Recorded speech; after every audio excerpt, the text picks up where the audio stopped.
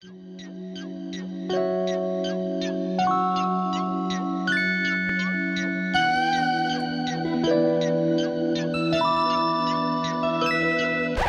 flying out to Sydney, classes on the bee's knees. I'm a doctor's and you can never fucking read me.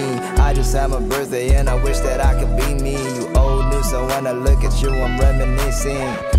For your ego, salty like some miso. My pockets on Shaquille O'Neal, your pockets on the Vito. You thought that you were running shit, I turned it to the me show. An ocean full of drip, but used to losses like an emo.